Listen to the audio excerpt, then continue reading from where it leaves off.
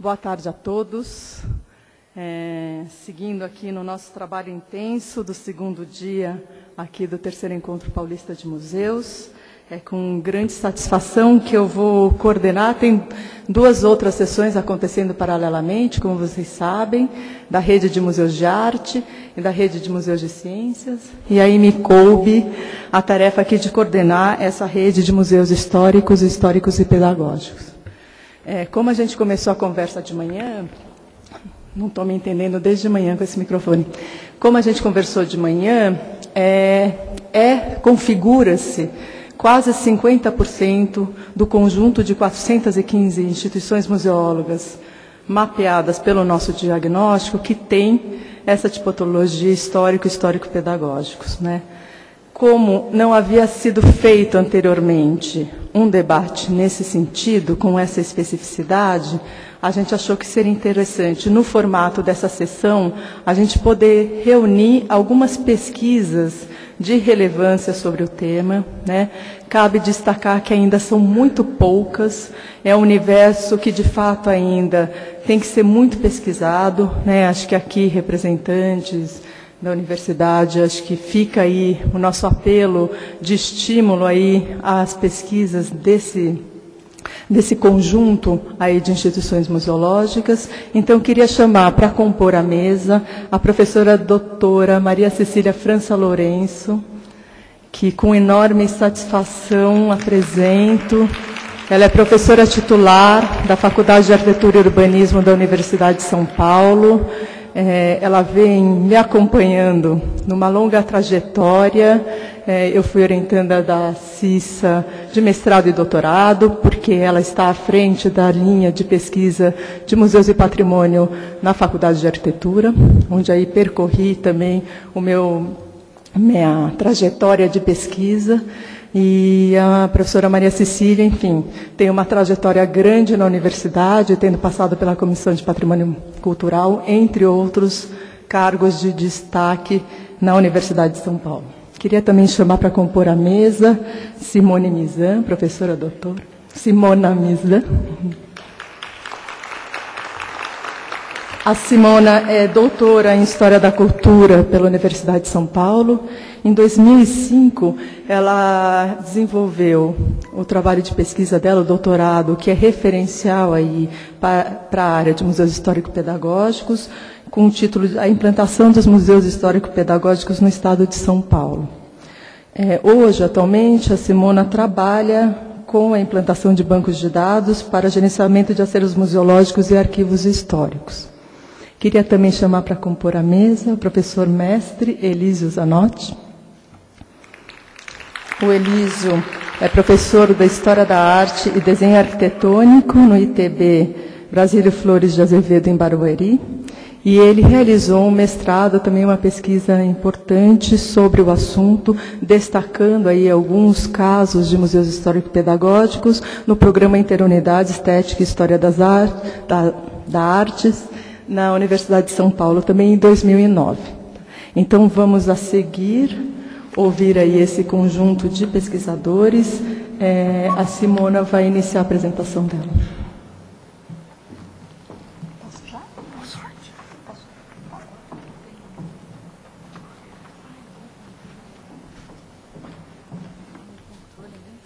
Para frente, e aqui o mouse. Tá bom, então a gente já pode, ah, pode colocar ele já? Ah, tá. Bom, boa tarde. É, primeiramente, eu gostaria de agra agradecer o convite da Renata. É uma, sempre é, uma oportunidade de poder falar sobre um trabalho que às vezes a gente se detém tantos anos e é sempre um processo um pouco solitário. Né? E é, também a professora, a companhia da professora Maria Cecília França Lourenço, é, o Elísio Zanotti, que nós já tivemos juntos é, há uns anos atrás. Né? Bom, é, o, que, o que eu vou apresentar hoje para vocês, é, vou falar dos principais tópicos que estão num artigo que é, eu escrevi e foi publicado nos Anais do Museu Paulista em 2008. Esse é um artigo importante porque ele é uma espécie de um resumo, né? ele pega assim a, a, a coluna vertebral do que foi a tese que eu acabei desenvolvendo. É, o trabalho ele teve como objetivo uh, uh, constituir o, o, o, todos os, os, uh, os motivos que levaram à criação dessa rede estadual de museus.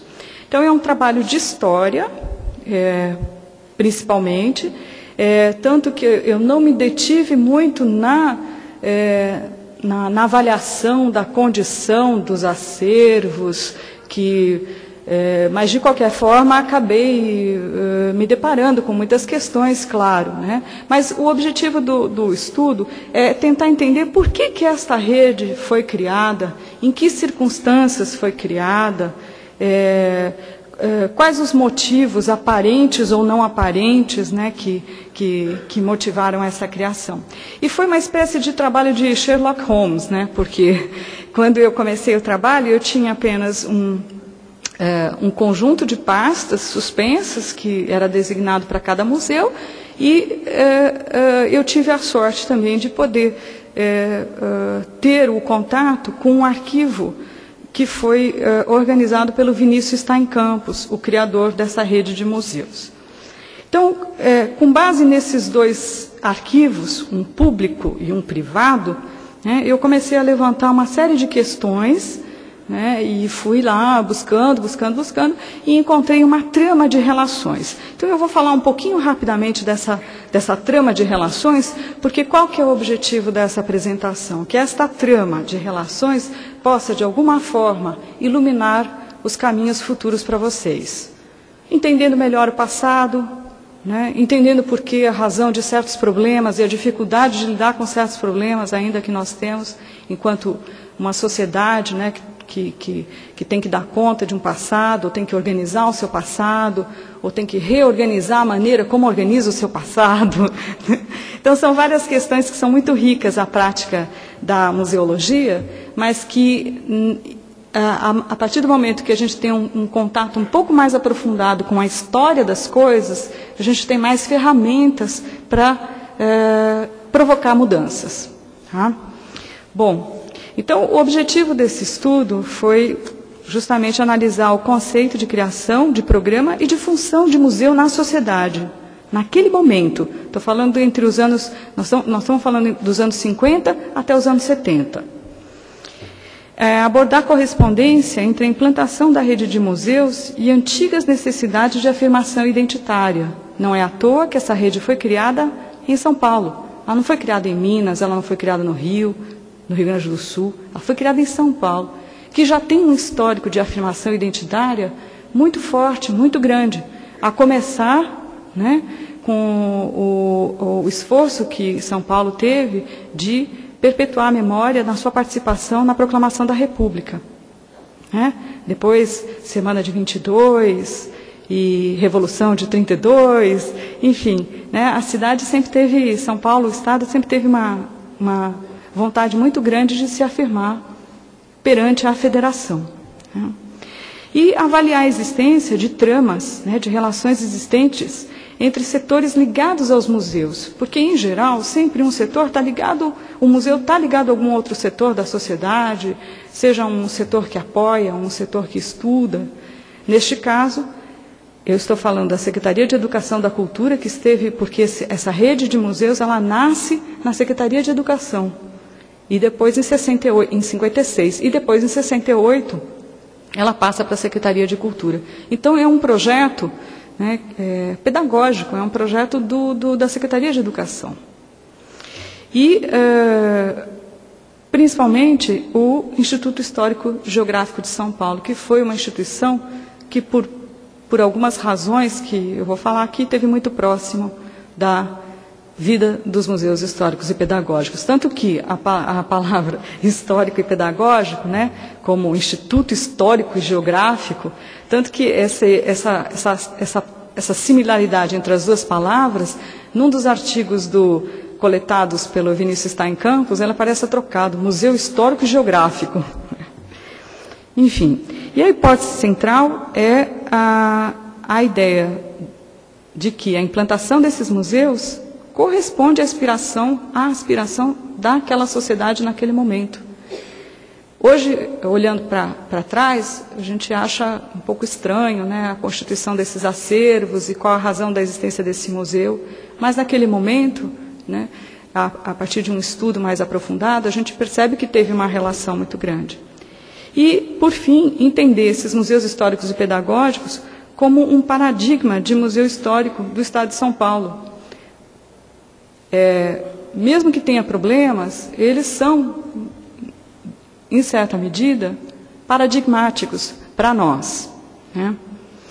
Bom, o ponto de partida para eu tentar entender o porquê que essa rede foi criada e por que, foram né, implantados em tantas cidades do estado de São Paulo, né, por, que, que, por que, que essas cidades foram escolhidas, por que, que esse, essa quantidade de museus, por que esse por que, né, todas essas razões, eu comecei a, o ponto de partida é, é, partiu do, de uma própria fala do Vinícius, né, preservar a história da cidade e do patrono. Então, mas a cidade e o patrono, e aí é, eu olhando um pouquinho o histórico de criação dos museus, então, rapidamente, né, falando, em 1956 foram criadas as primeiras quatro unidades dedicadas a perpetuar a memória dos nossos quatro presidentes republicanos e paulistas. Prudente de Moraes, Campos Salles, Rodrigues Alves e Washington Luiz. Em 1956, esses primeiros quatro museus eles foram criados pelo professor Solon Borges dos Reis. Ele foi um, um colaborador muito grande da Secretaria de Cultura nos anos 50 e em 1956, o Solon Borges dos Reis convida o Vinícius Stein Campos para assessorá-lo na uh, administração desses quatro museus. E o Vinícius, em 1956, cria mais cinco unidades, sendo que, entre essas cinco unidades, ele implanta museus na cidade de Capivari e na cidade de Casa Branca. E aí, descobrindo, eu fui, fui pesquisar onde nasceu Vinícius Stein, onde nasceu Solon Borges dos Reis. Vinícius nasceu em Capivari e Solon nasceu em Casa Branca. Então, é, foi uma forma de homenagear a própria cidade, né? E, e... Só que é interessante porque na cidade de Capivari, o patrono do Museu Histórico Pedagógico era Cesário Mota. Eu disse, mas qual é a relação de Cesário Mota com a cidade de Capivari? E estudando um pouquinho, percebi que, na verdade, a maior importância da, de Cesário Mota é, foi com relação ao Estado de São Paulo. É, em Capivari, ele apenas passou, fez algum ato político, alguma coisa sem grande relevância histórica.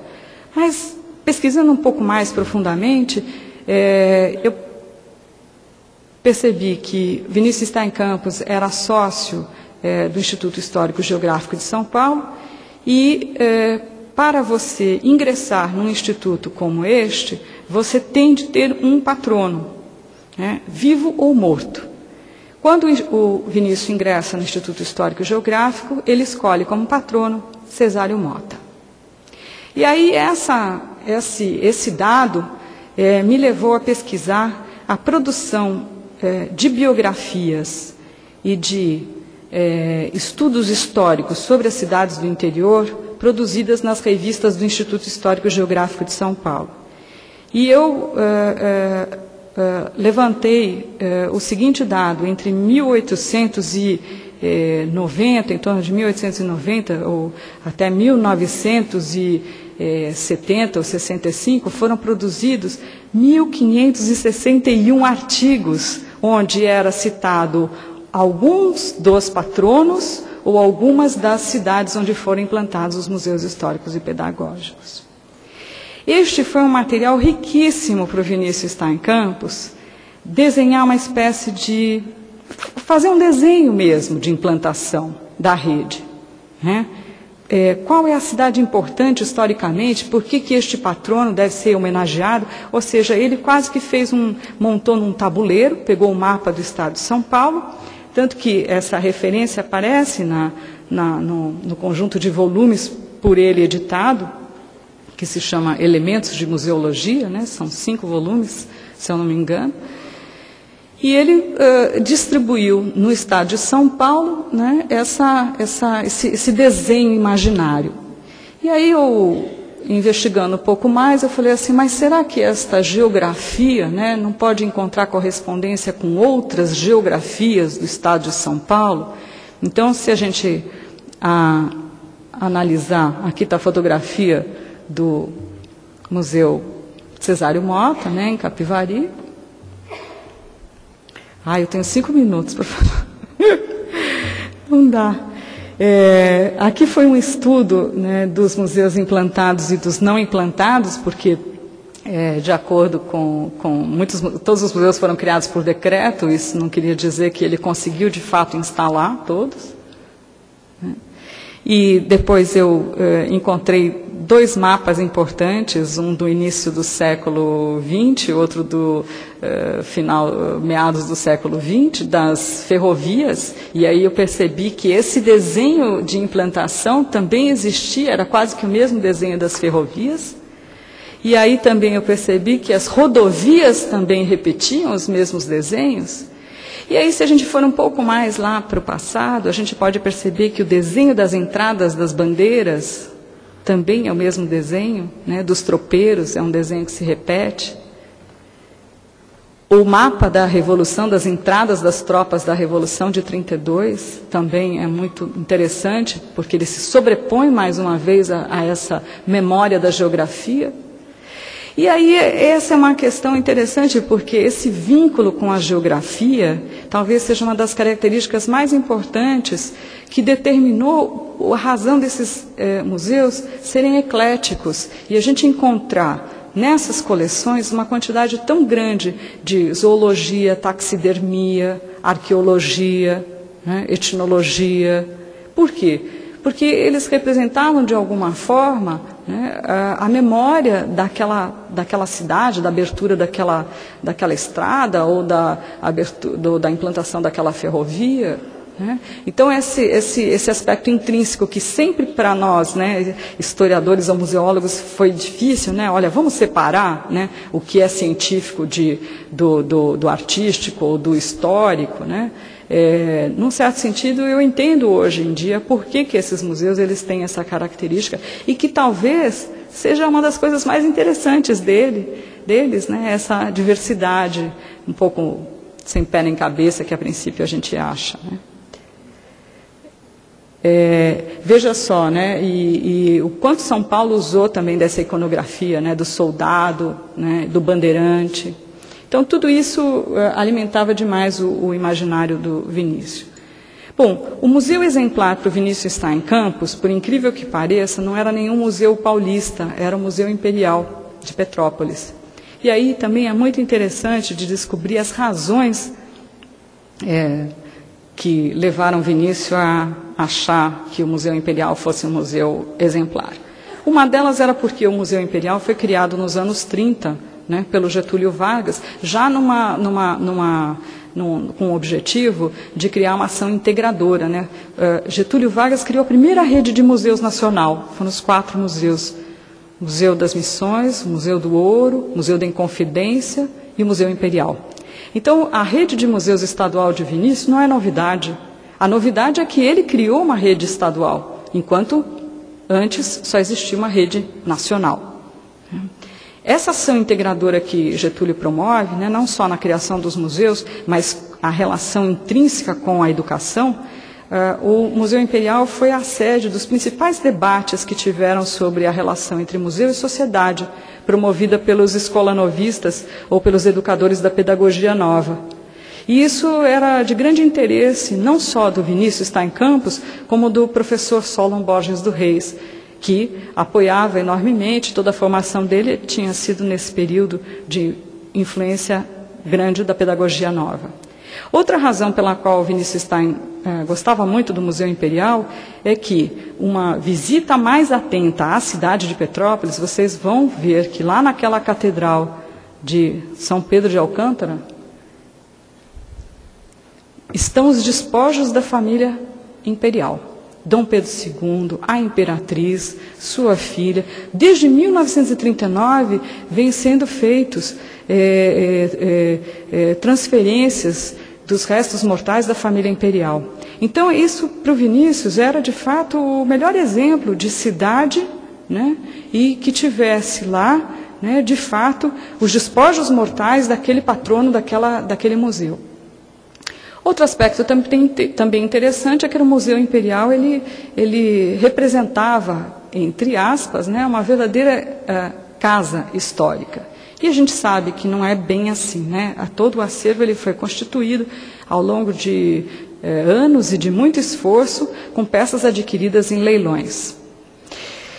É, de qualquer forma, é, a gente se pergunta, mas e com São Paulo? Ele não, não conversava com ninguém, com nenhum museólogo, com nenhum historiador?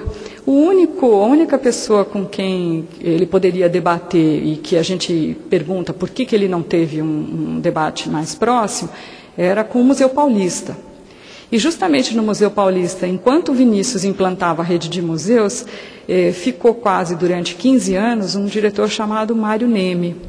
E Mário Neme foi a primeira pessoa que publicou nos anais do Museu Paulista, em 1968 aproximadamente, a primeira crítica oficial contra a implantação dos museus históricos e pedagógicos. É muito interessante, vale a pena ler e talvez homenageando tanto o Vinícius como o professor Mário Neme, eu acabei publicando esse artigo também nos anais em 2008.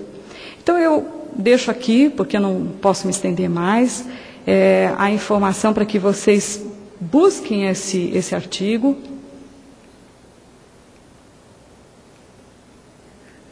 Onde é, são analisadas outras questões, mas pode dar um resumo muito interessante para vocês desse percurso.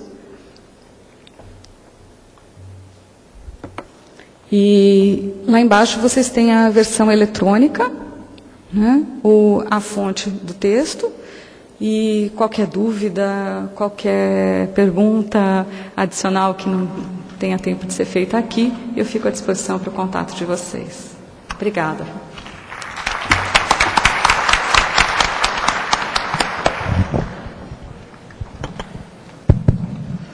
Obrigada, Simona. Acho que foi uma ótima contextualização inicial. Recomendo a todos a buscar também a, a tese é, da Simona aí, que daí com detalhes, né, vocês podem é, verificar esse percurso de criação e implantação dos museus histórico-pedagógicos. Agora eu gostaria de chamar o Elísio Zanotti para fazer a apresentação.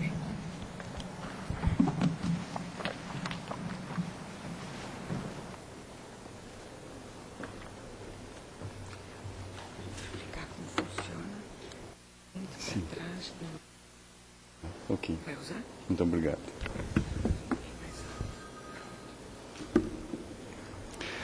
É, boa tarde. Eu queria inicialmente agradecer a possibilidade de estar aqui, agradecer a Renata, organizadora dessa mesa, agradecer a Cissa, foi a Cissa e a Simona que fizeram parte da minha banca uh, quando eu fiz a defesa do mestrado, que é o assunto que eu vou tratar aqui agora e agradecer a presença de vocês. É, eu gostaria de começar a falar um pouquinho sobre o museu local, que é, um, é uma tentativa é, de dar uma cara para aquele pequeno museu de uma cidade com até 50 mil habitantes, que foi a minha proposta de mestrado, de pesquisa de mestrado. É, antes disso, quando eu estava terminando a faculdade de arquitetura, é, o trabalho de, de, graduação, que naquela época chamava TG, TGI, que é um trabalho de, de graduação interdisciplinar, eu fiz é, um trabalho é, de levantamento histórico do meu município. Eu sou caipira de Bariri, uma cidade que fica uns 320 quilômetros de São Paulo.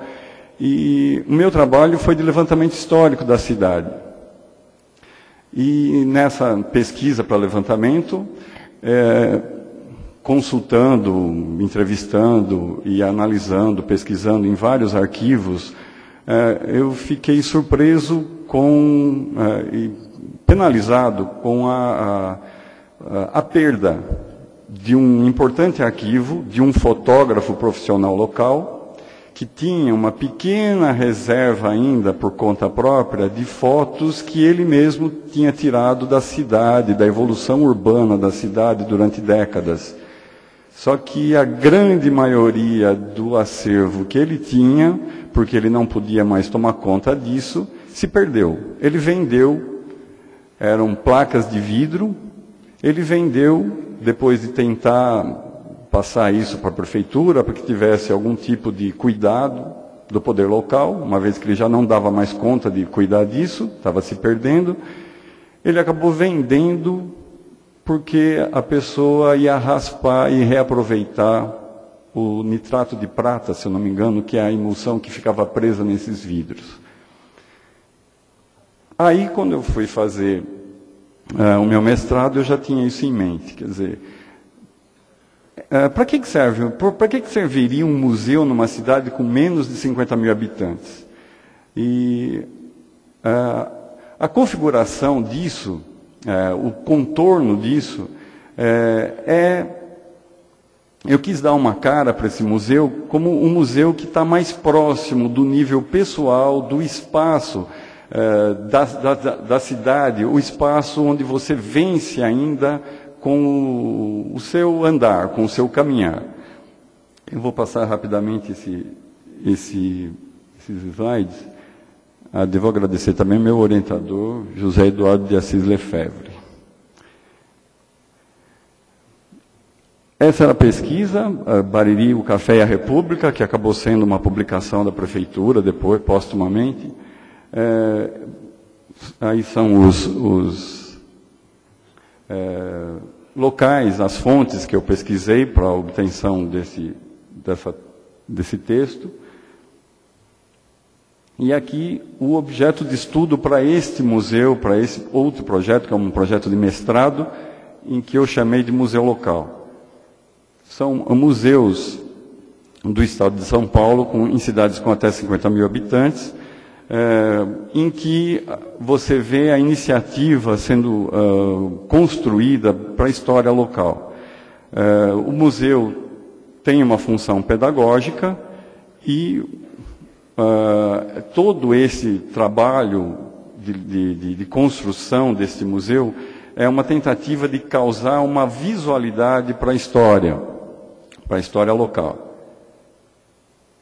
Objetivo geral, levantar questões diferenciais para a compreensão da realidade atual das iniciativas no campo da museologia em cidades com até 50 mil habitantes. Uh, investigar soluções locais que possam servir para o conjunto dos museus, promover troca de informações e possibilitar a relação entre a realidade desses museus e outras iniciativas brasileiras e estrangeiras a partir de conceitos como o Neighborhood Museums, museus comunitários, ecomuseus, etc. Eh, eu me baseei, me balizei nessa pesquisa embalado por esses dois conceitos Ensinar história só pode ser obrigatoriamente ensinar a fazer história e aprender história, aprender a fazer história, do professor Upiano Toledo Bezerra de Menezes. E não se trata, pois, de criar um museu comunitário, porque ele já existe, né? Este museu levantado, museu local, ele já existe, mas de reconhecer a sua existência e fornecer-lhes os meios de desenvolver-se, enfim, de formar seus animadores saídos do meio para a museologia e a museografia populares, do eterno uh, presidente honorário da, do ICOM, Ig de procedimentos uh, metodológicos. Eu tentei dar uma categorização para esses museus, através de visitas técnicas, escolhi seis museus dentre aqueles que eu já estava inicialmente é, pesquisando. Eu escolhi esses seis porque eu achei que eles eram bastante emblemáticos de uma situação é, que já existe no, no, estado de São Paulo, é, provocada por uma iniciativa do governo do estado, que seria a implantação dos museus históricos e pedagógicos, que disseminou a ideia da museologia no estado de São Paulo né, com a criação dos museus, mas também com a, uma disseminação de cursos de museologia eh, aplicados e a, endereçados a professores da rede estadual, a rede regular, professores de história principalmente, eh, e esses museus históricos e pedagógicos eh, teriam a direção, teria o, o trabalho todo sendo encampado, sendo encabeçado por professores de história que tivessem essa preparação, digamos assim, a, a, partir desses cursos de museologia. É, isso faz parte do pacote do Vinícius está em Campos, que a Simona já apresentou.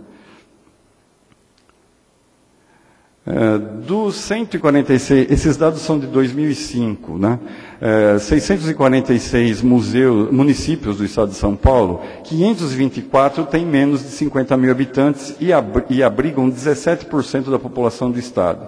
Do 500, dos 524 museu, eh, municípios, 99 deles têm 120 museus, ou seja, 19%. Desses 120 museus, 84 têm um perfil histórico. 21 museus históricos e pedagógicos criados pelo governo do estado estão em cidades com menos de 50 mil habitantes. Eixo temático, origem do colecionismo, ou seja, o museu, tanto os históricos e pedagógicos, como esse museu que nasce numa cidade pequena no estado de São Paulo, que é o âmbito que eu pesquisei, nasce de uma, de uma coleção. É alguém, algum colecionador, que doa ou por iniciativa de uma comunidade, de um grupo, de uma associação ou até da prefeitura local, faz, encampa esse acervo e a partir dele começa a construir o acervo desse museu. Isso faz parte, quer dizer, também um, esse tema, essa, essa, utilização do museu como faz parte de um pacote que é, é, é herança do período do, do, movimento da escola novista, que via a visualidade ou a percepção direta do observador, do aluno, é, como um, um, um um elemento importantíssimo, talvez o mais importante, para a apreensão, para a construção de conhecimento. Então, o museu seria a peça-chave para essa demonstração. Um museu é, único numa cidade até 50 mil habitantes serviria às outras escolas que porventura pudesse ter nessa servindo de apoio visual é, para a história local, mas também para auxiliar o aprendizado, as, uh, toda, para todas as disciplinas da escola local. Né? O museu teria essa função, então, de provocar a visualidade, ainda num tempo que não existia internet, né? provocar a, a, mas também a visualidade direta desses objetos, desse culto à história, para esses alunos da rede eh, estadual. Eh, essa ideia é uma, uma decorrência, uma herança do movimento da Escola Nova, em que é, vigorava filosofias do tipo para novos fins a necessidade, é, a necessidade de novos meios. É, o Anísio Teixeira, o Fernando de Azevedo e Lourenço Filho e Francisco Campos tinham planos de renovação do ensino nos estados e a observação direta como pilar da nova educação, com, e constituindo aí um papel de, designado aos museus.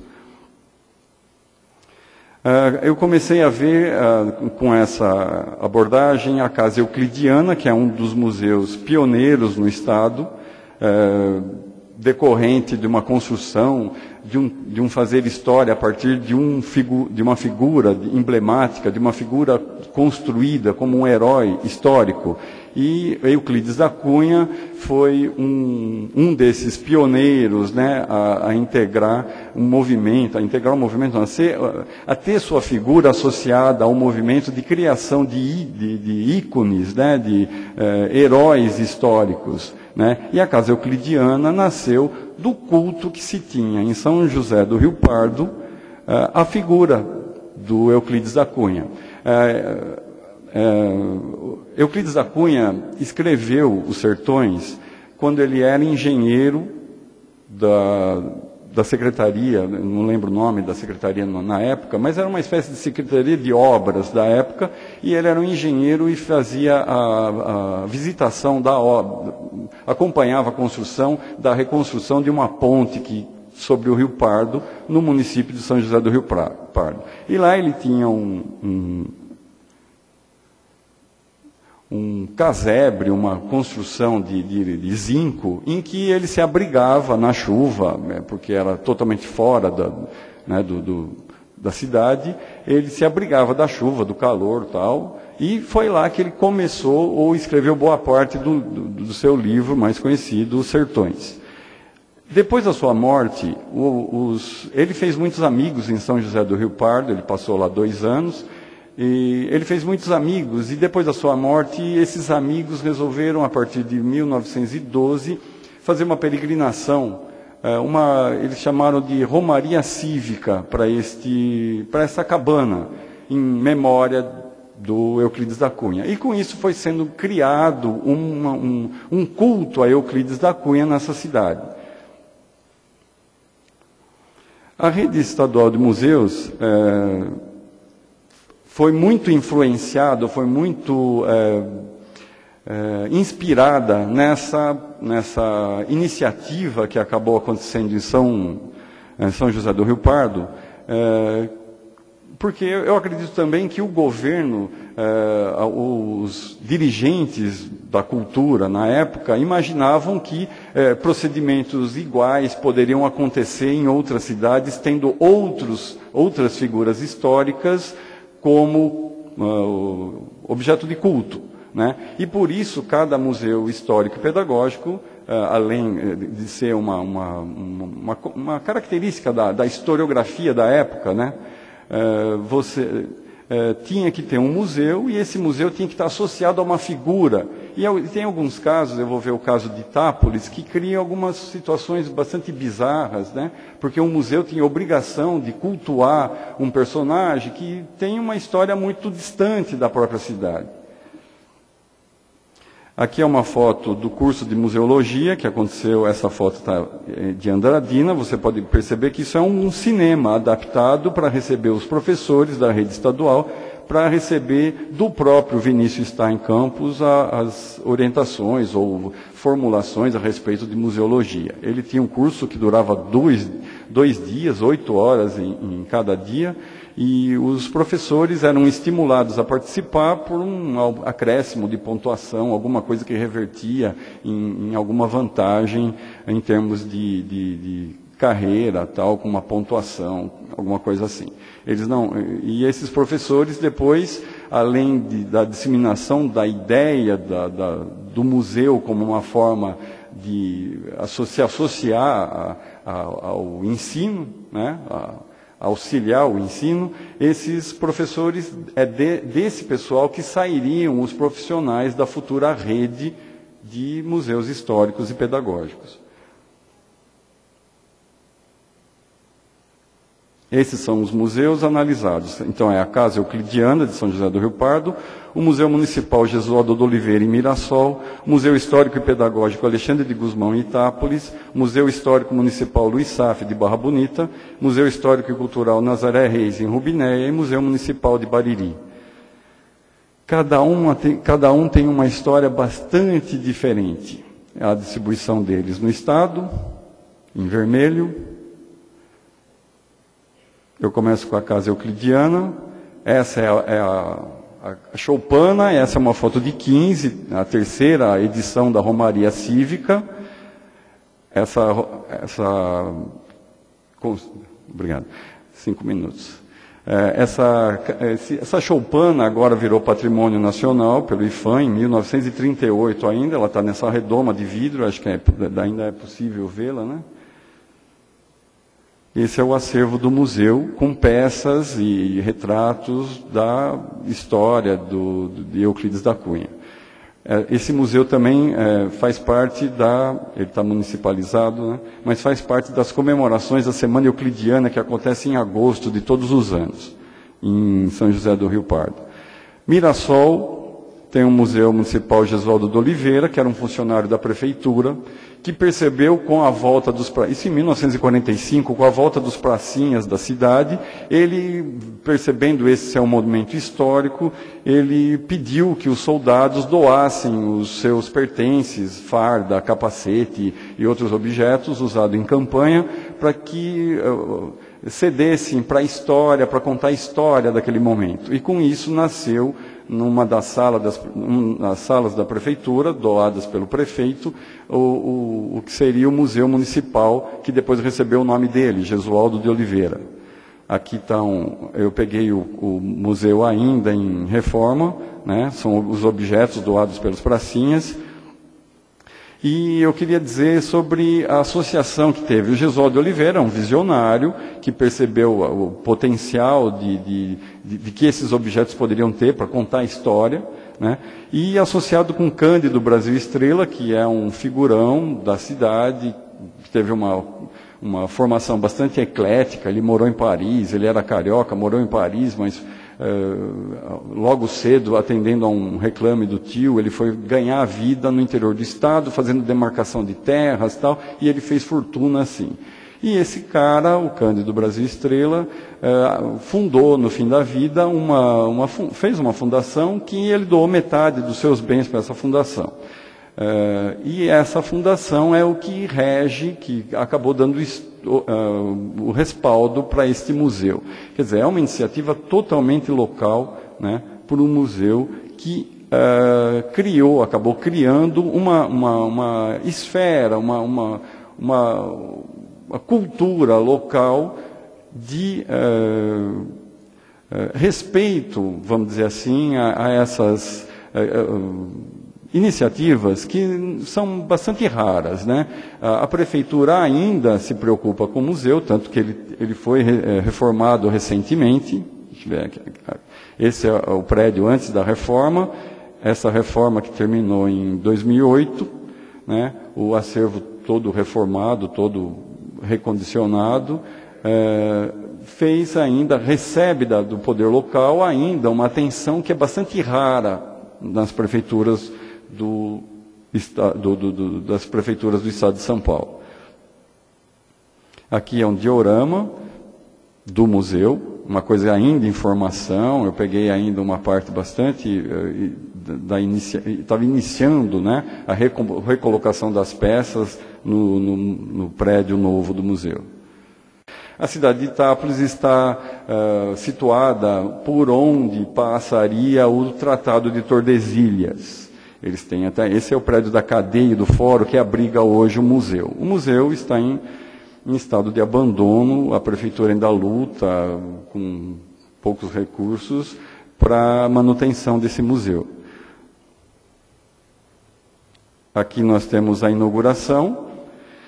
É, eu queria falar desse José Toledo de Mendonça, que é, na verdade, um herói que fez durante toda a sua vida a manutenção do museu, praticamente sozinho eh, se, comunicando com a estrutura do, da Secretaria de Estado, quando ainda vigia a, a, a presença do Vinícius está em Campos. Né? Aí está o prefeito, que fe, fez uma parte atuante, foi uma parte atuante nesse processo, mas que logo em seguida não houve continuidade. Quer dizer, é um problema sério nas iniciativas em museologia no interior do Estado, nas cidades pequenas principalmente. Essa é a praça onde está situado o museu lá no fundo, e o, o Tratado de Tordesilhas, onde este é o marco, em primeiro plano, é o marco onde, onde o passo o tratado, e o Alexandre de Guzmão é um diplomata português que fez, é, foi de capital importância para a extensão, né, através do Tratado de Madrid, do, das terras portuguesas para além do Tratado de Tordesilhas. Então, essa associação, presença do, do que seria o, o, o Tordesilhas, o, o, a linha de Tordesilhas, passando por Itápolis e Alexandre de Guzmão, sendo aquele que ultrapassou, foi um dos responsáveis pela ultrapassagem das terras portuguesas além desse, dessa linha, né, que passa por Itápolis. Esse é o acervo, é um acervo bastante rico, mas que está bastante uh, carente de trato e de, de orientação, de alguma atitude museológica que dê sentido para isso tudo e que o, o, observador, o visitante, possa usufruir isso de uma maneira mais é, satisfatória, mais ah, proveitosa. Barra Bonita, quatro integrantes do, do, que fizeram a história local, são pessoas que não tinham nenhuma formação, nem histórica, nem museológica, e eles tiveram a incumbência do prefeito local de fazer uma monografia sobre a história municipal e a criação de um museu. Ah, essa é a Célia, que é uma das participantes daquele grupo, os outros três já são falecidos, e eles fizeram o museu como eles percebiam. O museu ocupa a antiga estação da Estrada de Ferro. Ah, o acervo do museu foi todo feito a partir de doação muito inspirado na própria constituição dos museus históricos e pedagógicos, eles noticiavam nos jornais locais solicitando que o povo doasse peças que eles pudessem utilizar no, no acervo do museu. Aqui a gente vê algumas imagens que são iniciativas da Janaína, que é a atual diretora, a Janaína tem 26 anos, é a diretora do museu, e ela faz a administração desse museu como quem, é, com um nível de despojamento e de, de, de desprendimento, ela trabalha de fim de semana, de sábado, de domingo, e ela não ganha mais por isso. Quer dizer, é, a, a administração do museu deste caso, e no caso de Itápolis também, quando da, da, da, da administração do, do, professor, eram de puro desprendimento, quer dizer, eles dedicavam seus horários de, de, de fim de semana, de, durante a semana, é, é, simplesmente para que aquilo não morra, para que não morresse. Está aí ela, é, por exemplo, arrebanhando doações, por exemplo, essa exposição que ela conseguiu uma, uma, uma, um empréstimo para uma exposição de arte e de objetos indígenas do, do Museu Índia Vanuiri de Tupã. O acervo foi montado em, no Museu de Barra Bonita e ela teve que emprestar manequins de lojas da cidade para poder fazer um, um, uma exposição, um, né, algo que pudesse ser mais útil, ao, mais ah, didático aos olhos do, do visitante. O Museu de Rubinéia nasceu também com a iniciativa de um professor de história local, sem nenhuma interferência externa, e ele fez. Rubinéia tem uma história interessantíssima, porque ela foi mudada de sítio, porque ela teve que dar lugar para o enchimento da, da usina de Ilha Solteira. A, a, ela foi engolida, o sítio, o antigo sítio urbano foi engolido pela, pela, pelas águas da represa. Aí você tem uma foto do desfile comemorativo do enchimento, com as bandeiras e tal. E eh, houve muita luta, houve de diversas maneiras. Né? Teve o prefeito que teve que fazer uma campanha e emprestou dinheiro para que houvesse a compra de um novo lugar para, para uma nova localização para a cidade. Uh, teve um outro uh, uh, munícipe, né, o Aparecido Galdino Jacinto, que era uma figura muito que eu vou ter que falar super rapidamente, mas que tem uma história belíssima e que essas histórias não estão presentes no, no acervo do, do museu, porque não tem uma, uma, uma, uma formação, não tem uma, um preparo para que esse, museu, para esse acervo seja exibido, seja organizado, e é uma história que se perde. E o Museu de Bariri, que ficou somente na intenção. Você tem o prédio, em que inclusive foi grafado na, na, na fachada, museu, mas que ele teve uma duração de seis meses mudou a, nesse meio tempo mudou a administração e o, a, a, prerrogativa do, do, do, prefeito na sequência, que era de um partido de oposição ao prefeito anterior, simplesmente abandonou o projeto e isso foi totalmente desfeito. A rua onde o museu está localizado, construções típicas da época do café, que poderiam ser exploradas no acervo né, do museu.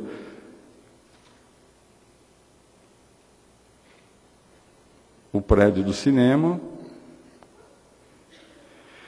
E isso ilustra um pouco do abandono que esses museus pequenos e que poderiam ter um papel melhorado, né, é, e que eles estão gritando por algum tipo de ajuda, porque é, sem alguma ajuda externa, é, certamente farão perder-se e grandes acervos de muitos colecionadores particulares vão ser vendidos porque simplesmente não tem quem cuide mais dessas coleções, tá bom? Muito obrigado, desculpa o estouro do tempo.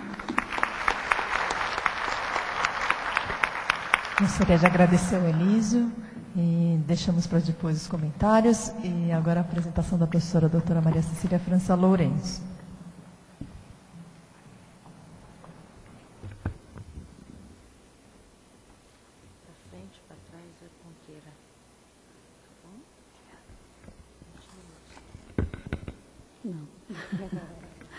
Boa tarde para todos. Quero manifestar a emoção de poder dividir com vocês uma parte de um trabalho que eu venho fazendo e especialmente estar sendo convidada pela Renata, que há muito tempo eu acompanho o desenvolvimento dela sempre com muita satisfação. É, eu me propus a pensar um pouco, conhecendo o trabalho. Tá bom som? É, conhecendo um pouco o trabalho dos meus dois colegas de mesa, que também é uma satisfação poder dividir, eu me propus a pensar um pouco essa questão de manter e transformar ligados à memória. Hoje nós temos uma variedade enorme de tipologias museais, é, inclusive essa imagem que vocês têm é do Museu do Amanhã. Então, as definições clássicas de museu, fisicalidade, ficam bastante discutíveis quando nós pensamos no Museu do Amanhã, não é? Qual será o acervo do Museu do Amanhã? Ou é um nome retórico, né? Claro que todos aqui são é, da área e sabem do que, que eu estou falando. Né? Então, eu, eu me propus a dividir essa questão, enfatizando a questão da memória do lugar, em contraposição ao lugar de memória do Pierre Nora. Dividi, então, um pouco em algumas reflexões gerais, numa segunda parte, eu queria discutir um pouco com vocês que os nossos museus histórico-pedagógicos e históricos de um modo geral, no estado de São Paulo, sem contar com o Museu Paulista, que é do século XIX, eles, na verdade, vão ser implementados a partir do momento em que todo um outro conjunto de museus no mundo estão vivenciando a era do espetáculo. Então, a segunda parte, eu estou pensando em falar dessa questão, escolhi dois exemplos para nós pensarmos um pouco qual o futuro do museu e quais as questões que nós podemos pensar para manter e transformar. Porque, na verdade, o museu é como um organismo humano, sempre se transformando. E é, eu imagino que seja possível manter e transformar desde que nós possamos ter uma série de condições que eu vou procurar colocar nessa chancela da memória. Então, a segunda parte que eu dividi, eu pensei em mostrar algumas questões de quais são os valores de memória que estão em jogo quando o moderno brasileiro é implantado. Porque me pareceu que, de certa forma, elas são muito diferentes da memória pensada no período dos museus histórico-pedagógicos. Então, talvez por contraste, nós possamos pensar que a memória é uma edição, como a história, é uma construção, é uma edição, e toda vez que nós estamos à frente do museu, nós podemos ser protagonistas, mas não podemos fazer um diálogo voltado para um segmento muito curto. Então, é, o roteiro geral é esse. E eu pensei em trabalhar com vocês a respeito dessa multiplicidade de questões que estão uh, colocadas aí no museu. Um documento recente, uh, erigido pelo IBRAM, ele vai colocar uma série de questões que nos deixam bastante preocupados. Né? Então, nós temos museu nômade, museu virtual, museu etéreo, né? até onde nós vamos multiplicar estas questões. Enquanto nós estamos falando de museus que têm acervos sólidos, ecléticos, mas sólidos. Né? E uh, eu acho que se há uma diversidade de modalidades, há uma unidade, desde 89 aproximadamente, através do International Council of Museum, enfim, uma das referências, não a única, que a gente pode ter para pensar mais sistemicamente, que eu acho que o museu sempre nós temos não nos sentir tão solitários, tão isolados, e nós acho que nós precisamos dialogar com os demais, aprender com os outros, trocar com os outros, é, nós temos então esta possibilidade de estar com uma coerência de definições mais ou menos uh, comuns desde 89 a respeito de museu. Quando se fala em museu, esses elementos que estão aí, coleção, aquisição, conservação, investigação, educação, comunicação e exibição, eles sempre são consensuais. Mas se eu estou falando do museu de amanhã, que me parece que ainda não chegou, né? como é que eu vou pensar nessas funções todas? Por outro lado, os museus, eles têm, desde o gabinete de curiosidades, renascentista, no século XVI, ele tem funções muito estabelecidas que, de certa forma, permeiam essas que nós temos mais ou menos desde 89, eu não quero fazer marco demarcatório de data aqui, mas que vai estar voltada para essa formulação sobre o que seria patrimônio. Mas sempre o patrimônio, que é uma palavra bastante antiga, que tem mais de 20 séculos de duração, é aquilo que o pai passa para o filho são os bens do pater família. Como vocês observam, é uma visão bastante é, masculina do mundo, embora o museu tenha bastante uma linha feminina, não é? É, mas é uma visão bastante é o o pai, aquele provedor, o único onipotente, passa para o seu filho, em geral por consanguinidade, por extensão, por uma comunidade. Então, todas essas questões já estavam colocadas, na verdade, desde o gabinete de curiosidades. Esse é do século XVIII. E é, o gabinete de curiosidade, desde o Renascimento, ampliação dos horizontes, enfim, aquilo que todos aqui conhecem, nós vamos encontrar essa visão. É deleite, é o raro, é o precioso, é o único. Né? Tem a página do tempo, pertenceu a um patrono. Né? Mas isso não é uma coisa nova, isso é uma coisa que já na Roma antiga, do direito romano, nós vamos encontrar. Então me preocupa muito a conceituação desse sentido de memória, que está intrínseco a essa questão. Essa memória rósea, sem conflitos, sem contradições, que não faz parte do mundo que nós vivemos. A grande maioria trabalha aqui em museu e sabe que museu é área de conflito, muitos fortes, né? Uau! Queria então me uh, deter nesta questão de que os museus histórico-pedagógicos, o histórico de um modo geral no Estado, eles são uh, implantados, criados no momento em que nós estamos na sociedade de espetáculo. Não é? Eu não estou pensando no texto do Guy Debord, 68, estou falando no sentido mais comum da palavra, que o museu ele tem que estar próximo desse show, mega exposição. Então ele está dentro desse universo quando se criam os museus histórico-pedagógicos.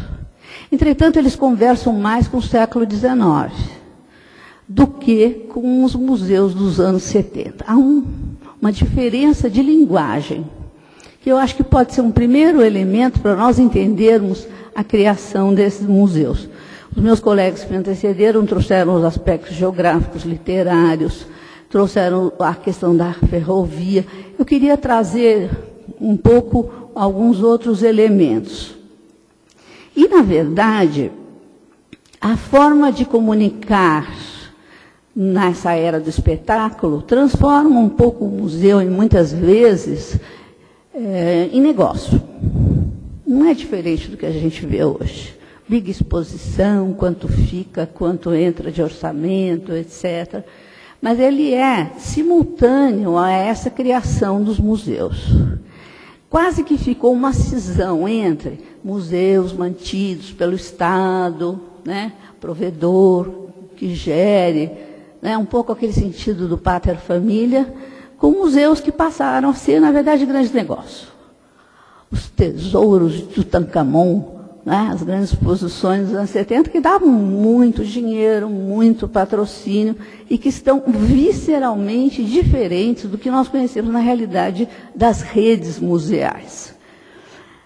Desta maneira, a memória que nós estamos pensando aí, que vai estar colocada nos nossos museus, é um pouco aquilo que o Pierre Novard nos ensina sobre o lugar da memória. A memória não existe mais quando ele escreve esse ensaio nos anos 80. Ele diz.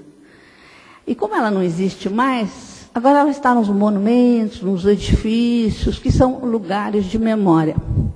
E me parece que, de uma certa forma, os museus histórico-pedagógicos foram criados como lugares de memória. Não há mais a memória de 32 para São Paulo então vamos fazer um lugar da memória. Ninguém sabe quem é Washington Luiz. Então vamos lembrar estes, essas grandes figuras, não é? E nesse sentido, os centros culturais que estão a partir do final dos anos 70, vocês têm aí esse, vocês conhecem, que é o Centro Jorge Pompidou, Boburg, né? Ele é um projeto desses dois arquitetos, Piano e Rogers, o projeto dele é de 72, é um concurso, enfim, uma série de circunstâncias. E é isso que está se fazendo quando estão fazendo apropriações da residência, né, de patronos, da história esquecida, das lutas perdidas. É, o, o que nós temos aí no mundo é isso, uma realidade diferente da nossa em termos. O Centro Cultural São Paulo ele, é o projeto dele é da data em que é inaugurado o Centro Cultural do Boburg. Né? É, essa maravilha aí da Lina Bo, no Centro Pompeia, né? O projeto é de 77 também. E ela vai abrir com uma memória muito interessante. A figura da Lina, eu acho que sempre merece todos os estudos possíveis e imaginários, porque enquanto a gente está olhando para um lugar, ela está olhando para o outro, né? É, tem Prometeu e tem Epimeteu. Quando eu estudo a Lina, eu sempre me sinto Epimeteu. O Prometeu que vê antes, né? E o Epimeteu que vê depois. Então, ela vai fazer essa exposição que está aí no alto, que é Caipiras, é, Pau a Pica, e Quer dizer, ela vai inovar muito. O teatro que ela constrói, o design que ela cria, são questões bastante interessantes, completamente diferentes dos nossos museus uh, histórico-pedagógicos. Então, eu queria um pouco já começar a trazer esses elementos para nós entrarmos nesse outro aspecto, o Memórias do Modernismo. Eu acho que Memórias do Modernismo também nos mostra um outro caminho. Eu escolhi dois dos seus intérpretes interessantes, não diria maior ou menor, mas interessantes, que são o Mário de Andrade e Oswaldo de Andrade. Mário de Andrade ele vai, uh, com Oswaldo de Andrade, num primeiro momento, eles vão procurar uma série de questões conjuntas ligadas à estética, de renovação modernista, mas logo eles veem que aquele, aquelas farras de 22 não criam cultura, não criam mudança, não criam transformações. E nós temos, então, é, a partir dos anos 30, segundo Mário de Andrade, um ano mais de construção, o, as ênfases começam a mudar um pouco e aprofundar em três direções sobre o meu aspecto. Uma, que é o, a busca do autenticamente nacional. O que, que é o autenticamente nacional? Não é? A importância da educação, aquilo que meus colegas estavam dizendo. Né? É exatamente esse, esse período. Esse período da, da Escola Nova, ele coincide com a difusão da lição das coisas, que vem do século XIX. As coisas ensinam, materializam a história, materializam a pedagogia, e são questões do século XIX. Como vocês sabem, é, data do, século, do fim do século XIX, 1889, quando Rui Barbosa traduz né, a lição das coisas e pensa numa reforma grande, que é uma base do, do Estado Novo, e que é uma base também da escola, que é a questão dos objetos que materializam ensinamentos. Basta eu expor isso aqui, vocês já têm uma visão disso. Não preciso mais nada, eu exponho isso, eu coloco isso. Ao colocar, eu consubstancio um valor. É? São questões diversas dessas que nós estamos vendo no Mário de Andrade, porque eles não acham que a memória resida nos objetos embora eles fossem dois grandes estetas, etc., eles não acreditam que a memória seja consubstanciada nos objetos.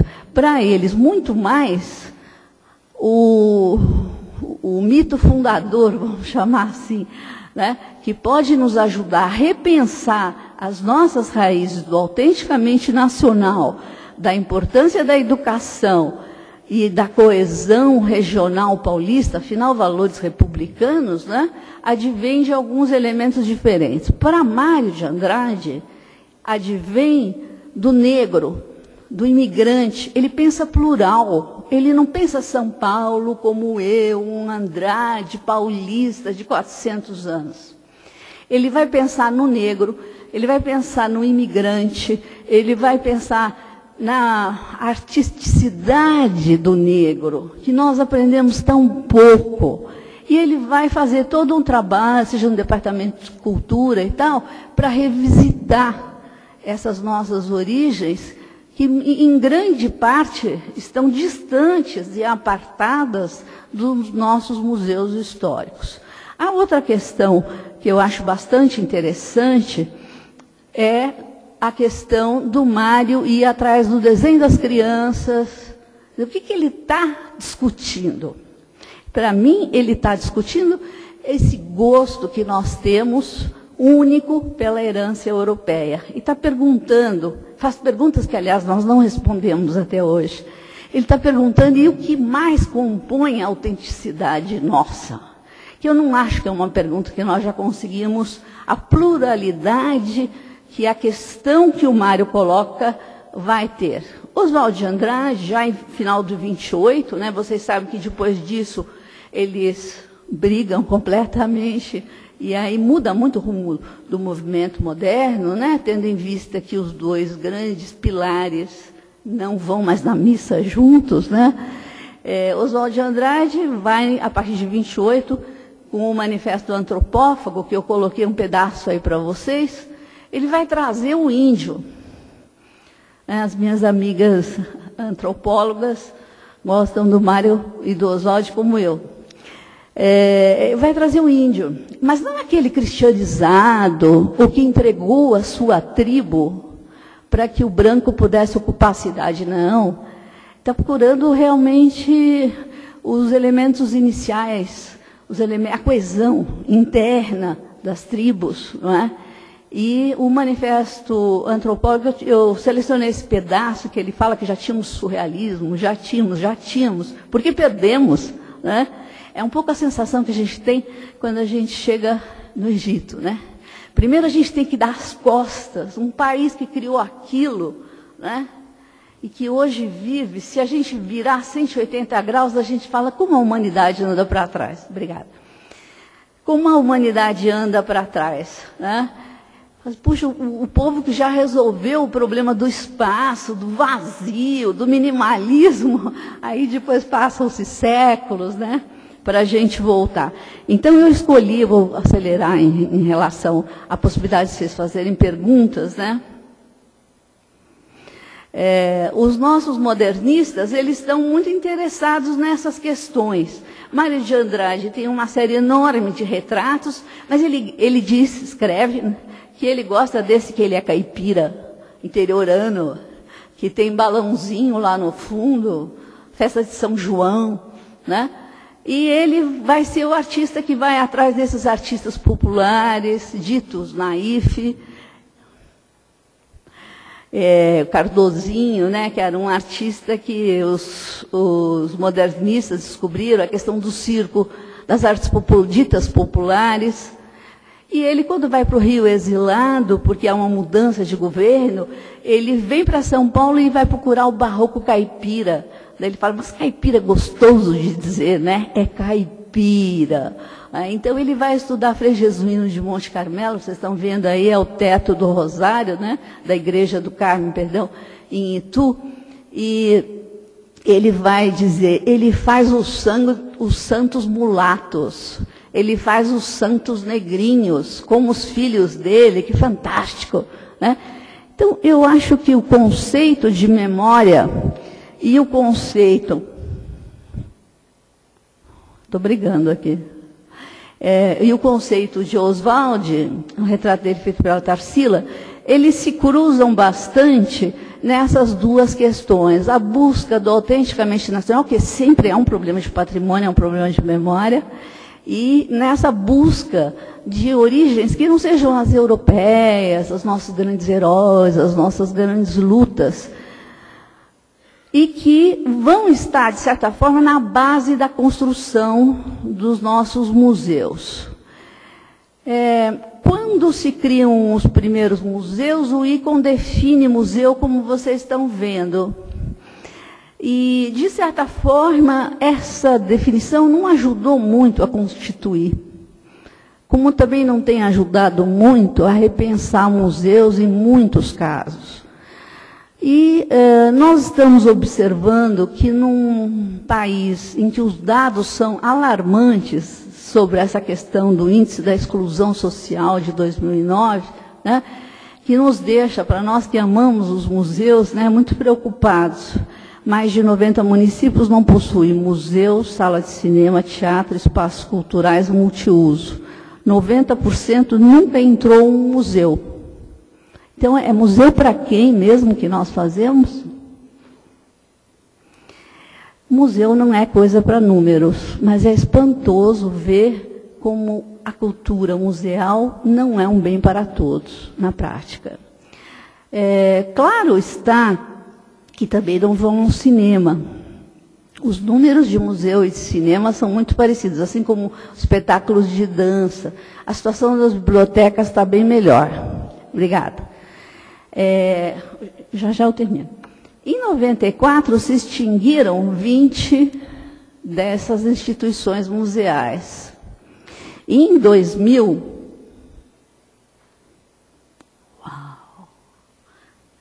Em 2000, 41 dessas instituições foram municipalizadas. Hoje, passado 11 anos, muitas desapareceram. O caminho que vinha desde 50, quase 50 anos, né, foi revertido. Então a gente tem essa lista do Diário Oficial, claro, numa cadeia de cidades que nós poderíamos é, rever. Os quatro pioneiros que foram construídos por Jânio Quadros, que queria ser presidente e é, era governador do estado, se junta ao Instituto Histórico Geográfico e cria quatro museus de presidentes, né? Ele era bem interessante o Jânio Quadros, porque ele não era paulista, né? Ele morava em São Paulo, nascido em Mato Grosso do Sul, e ele começa a construção cultural para chegar a ser presidente. Quando chega, desiste. Mas fez um esforço enorme para chegar a essa situação. Observem, então, que há, além da estrada de ferro, há uma série de outros fatores.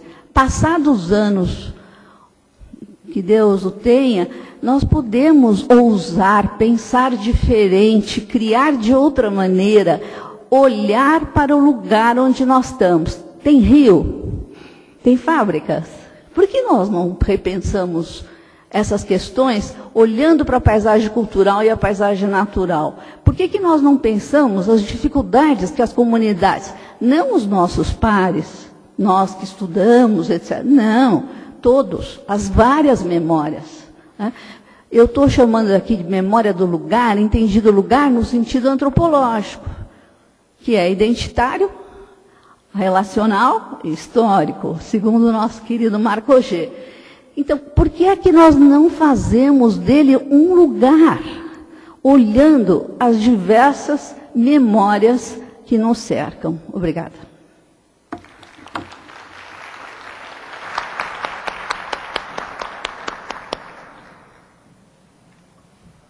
Queria agradecer a apresentação, sempre instigante, enfim. É, eu não quero tomar muito tempo com comentários, a ideia é que a gente possa abrir para perguntas. Na verdade, a gente é uma pauta mais extensa, que a ideia era que a gente pudesse levantar aí algumas questões prioritárias para os museus histórico-pedagógicos. A gente aí está correndo contra o tempo aí na nossa programação. Então, a minha proposta é que a gente possa deixar para amanhã na plenária também incorporar essas questões. A ideia é, dessa reunião hoje era muito no sentido de um primeiro encontro, uma primeira articulação, uma primeira provocação acima de tudo, e, portanto, vimos como muito importante poder articular aqui, eu acho que foi super bem sucedido, é, um conjunto de pesquisas já realizadas e pensamentos diversos, apontando para muitíssimas questões pertinentes aí é, na questão da nossa especificidade, que é o conjunto de museus histórico-histórico-pedagógicos aqui é, do estado de São Paulo.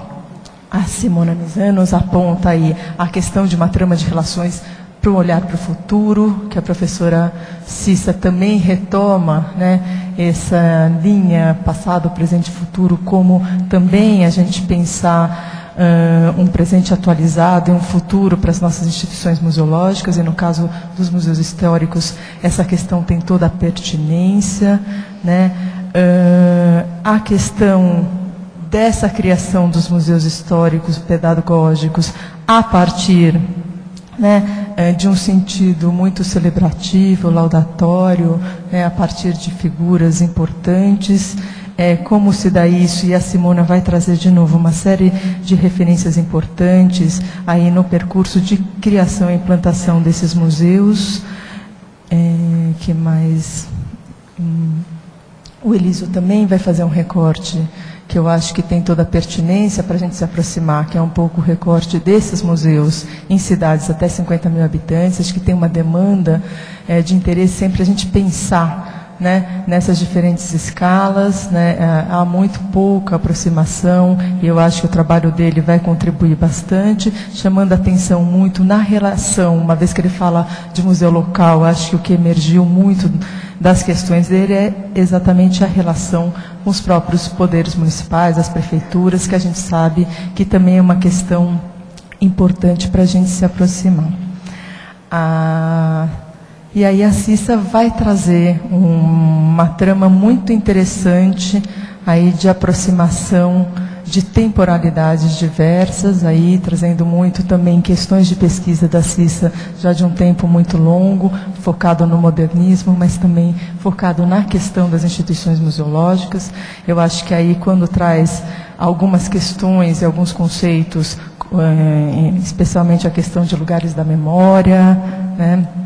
E em contraponto a Memórias do Lugar, é, essa, esse fio que traz das questões do autenticamente nacional do modernismo, como isso, de alguma forma, a gente pode se apropriar para expandir, talvez, a nossa possibilidade de pensamento em relação aos próprios acervos e instituições constituídas como MHPs. Né? Eu acho que a Simona falou uma coisa que me chamou muito a atenção, que é talvez olhar esse diverso com interesse. Né? Eu acho que tem uma fala recorrente em todos nós de uh, o diverso como descarte, quase. Né? E eu acho que o que falta de fato, e eu acho que as pesquisas aqui trazem, é esse olhar aproximado que desperta né, essas possibilidades e que pode prever descartes, mas mais do que tudo é, podem prever né, aproximações e novas leituras atualizadas a partir desse fio aí que foi colocado aqui na mesa. É, então, assim, de forma geral, que eu falei que eu não ia falar muito, já falei, hoje eu estou terrível. É, eu queria abrir para perguntas. Antes, gostaria de saber se a mesa quer fazer alguma colocação. E aí a gente continua o nosso. Né?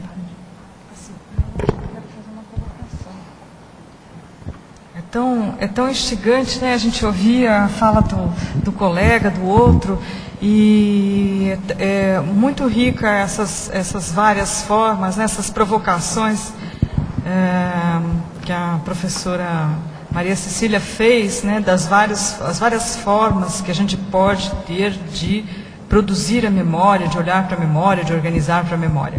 O que eu acho importante é para ficar é, é, também como uma informação para vocês, que todo essa, esse esforço de, de, de procurar contar uh, o ideário né, que motivou a criação da rede de museus, é para no final dizer assim, olha, houve uma forma de organização da memória que foi privilegiada nesse processo, que é a memória vista a partir da lente do Estado e não da lente do município ou da cidade. Só que, assim, é, num certo sentido, esse projeto da implantação foi um projeto educativo, histórico e político, evidentemente, né? que é, ao longo desses 50 anos criou um paradigma de organização da memória é, onde o Estado tem, né, é, veja só que coisa linda, né, bonita, porque o Estado hoje promove né, esse debate, né, abre esse debate.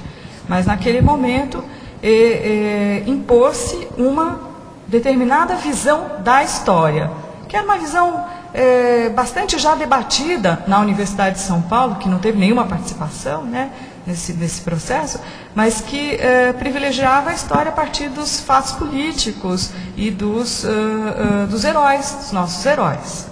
Então, o que, que faltou uh, olhar? Justamente a história do imigrante, a história do migrante, né? a história eh, da, da, da, das comunidades eh, negras, índias, que faziam parte, que fazem parte, que estão lá, né? E várias outras histórias locais, a história de instalação de uma fábrica, a história de instalação de uma barragem, a história de, é, da, da, da, da, da, vegetação daquela, daquela região, a história da, da fauna daquela região, a história do, da geologia daquela região, dos minérios daquela região. Ou seja, tem tanta coisa para a gente contar.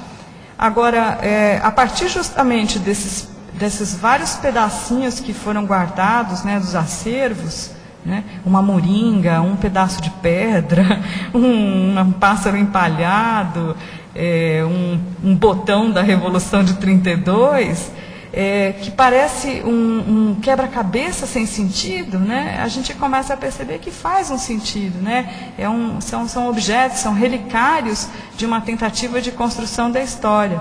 E que talvez hoje eles devam ser permeados de outros objetos, de outras histórias, fazer esses contrapontos, né, provocar, puxa, mas é, é isso estava acontecendo no interior. E o que estava acontecendo né, em São Paulo, movimento de arte concreta, de neoconcreto. Né? A, a, o exemplo que a, a Cissa dá dali na bobagem é muito bacana, porque ela passa ao largo, né? ela não está nem aí com nada disso, e vai lá e inaugura o SESC com uma exposição de, de dos objetos de trabalho, né, da, do uso da lata, do, da madeira, do, do, como que o caipira, né, como que o operário se apropria daqueles objetos e cria outros objetos com outros sentidos. Né. Então, eu acho que, frente a isso, vocês têm uma liberdade e uma responsabilidade enorme. Né? E, com certeza, nós estamos aqui para apoiar todos os, os, os mergulhos e as pesquisas. Só um informe, parece que está chovendo muito lá fora. As outras redes estão finalizando os trabalhos e por uma questão das comunicações entre os edifícios, eles vão ter que passar por dentro aqui do auditório, tá? Então vai ter uma certa movimentação. Ah, eles saem aqui no palco. um pouco pior do que eu tinha imaginado. Assim. E, tá, e a previsão é de que eles encerram às 16 quando eles vêm, né? É isso? Falei direitinho? e, então agora as perguntas, por favor. Oi, é, Ricardo Borges, eu sou do Museu Paulista da USP. Então, é, é, o seguinte, é sobre aquela ideia de que a dificuldade de acesso a material sobre o Museu de História. Ah, o Museu Paulista, ele mantém uma biblioteca, assim, com dezenas de milhares de volumes, exatamente sobre o Museu de História. Sobre a questão conceitual, sobre a questão dos acervos, de conservação, de cultura material, ah, educação, e tudo isso é aberto ao público, aberto a qualquer pesquisador. E o Museu Paulista também mantém uma publicação que é os Anais do Museu Paulista, que na gestão do professor Upiano foi, foi renovada, então tá, nós estamos com a nova série, que é uma publicação que sai duas vezes por ano, ah, ah, vamos dizer assim, enviada para qualquer instituição que a peça. Então existe bastante material sobre o Museu de História e acessível, por exemplo, o Museu Paulista aqui no Ipiranga, aqui em São Paulo, né? Então eu acho que é acessível à maioria das pessoas. Tá, só isso. Oi, é, sou Isabela, aqui. E sou estudante de História. E eu queria, hoje de manhã a gente teve um pequeno debate entre, se não me engano, o coordenador do Polo de Marília e o Sartini, que estava participando da mesa, sobre a questão dos museus espetáculo, ou não é museu espetáculo, o Sartini defendendo que todo museu é espetáculo, enfim, o, o Paulo, é, se não me engano, o nome dele era Paulo é, argumentando que não é bem assim. E a professora Cecília comentou um pouco sobre esse mesmo assunto, tratando do Museu da Manhã lá no Rio. É, no Rio também, assim como aqui em São Paulo, nós tivemos dois museus patrocinados pela, na, sua implantação pela Fundação Roberto Marinho. Lá também agora tem, tem três museus bastante parecidos nesse sentido, na monumentalidade e na questão da tecnologia sendo implantados também. Então, queria que os, os, dois outros componentes da mesa comentassem esse mesmo tema, né, sobre esses grandes museus sendo inaugurados, que tem, é, é, acho que qualquer museu tem essa dimensão política, né? Estamos, a gente está vivendo numa época de grandes transformações nas grandes capitais, por, por, conta dos grandes eventos que vão ser sediados no Brasil. Então, eu queria comentar assim, é, essa questão, né? assim como os museus históricos pedagógicos, é, muitos foram implantados é, em curto espaço de tempo e acabaram tendo uma certa, um certo abandono, um, enfim, um, um, é, um abandono, digamos assim. Se esses grandes projetos também, que, se vocês acham que podem ter o mesmo o mesmo caminhar ou se eles são mesmo uma coisa que vai nesse viés de espetáculo ou não.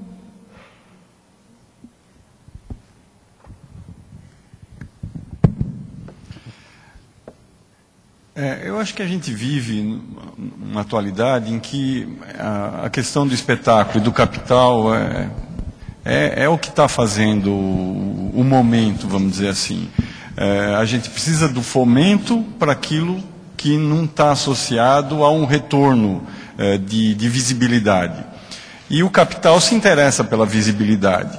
É mais fácil você fazer um grande evento que possa ser midiático, vamos dizer assim, e, e o capital se interessa. É fácil você conseguir é, verba, patrocínio, quando você tem uma condição como essa. É, agora, isso não esgota as possibilidades, né? É, é ruim isso?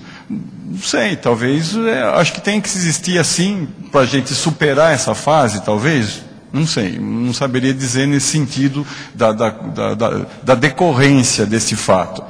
Se isso é prejudicial, certamente isso abafa algumas outras iniciativas.